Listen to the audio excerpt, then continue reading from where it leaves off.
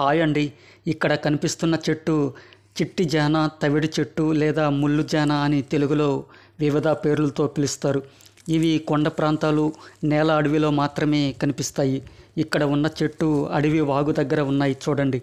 హిందీలో కకురుంద తమిళంలో కలున్న తవిటాయి అని సంస్కృతంలో నాగబాల అని బొటానికల్ నేమ్ గ్రేవియా హిర్సట అని టెలేసియే కుటుంబానికి చెందినవి. అలాగే ఈ చెట్టు రెమ్మలు ఎరుపు రంగులో ఉండి చిన్న చిన్న ముళ్ళులు ఉంటాయి. ఇదేలా వేరొక చెట్టు ఉంటాయి. వాటిని ఎలా గుర్తించాలంటే ఆ చెట్టుకు ముళ్ళులు కానీ పండ్లు కానీ కాయవు. వాటి కాడలు ఎరుపు రంగులో ఉండవు. వీటిని నిత్యం అడవికి వెళ్ళేవారు లేదా గిరిజన వారు గుర్తిస్తారు.